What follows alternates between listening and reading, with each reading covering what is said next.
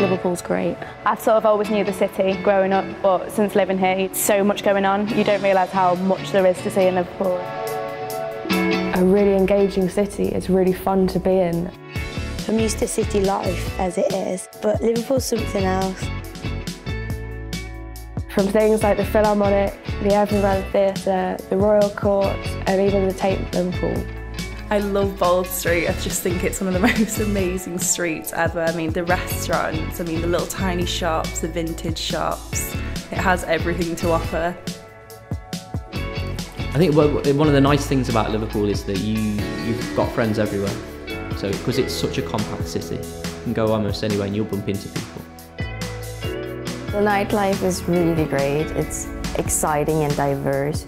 There's something for everyone. I personally think the Scouse people are really friendly. They accept everyone, no matter what you look like, no matter how weird your accent might be. The one word, if I had to choose one to describe Liverpool, it would be independent. It feels like it feels more like a country than a city. It feels like you it feels like you're somewhere completely different. I think there's something for everyone here. There's a huge variety and I think it's a great city to study in. If you're unfamiliar with Liverpool and you're planning to visit, get yourself a decent pair of walking shoes and get out there. We've got loads of museums, we've got galleries, art spaces, cinema spaces, culture venues, all within a few minutes walk from where I'm stood. So get yourself a decent pair of shoes, get out there, get exploring because there is a huge amount to see.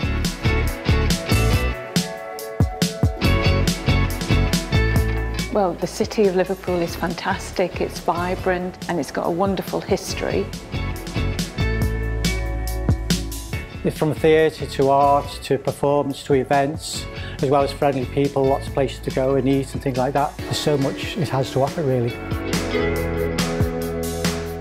I'd say Liverpool is a great place for culture. I think you can find the, the story of the city written in its, in its architecture, you'll see on the waterfront in particular.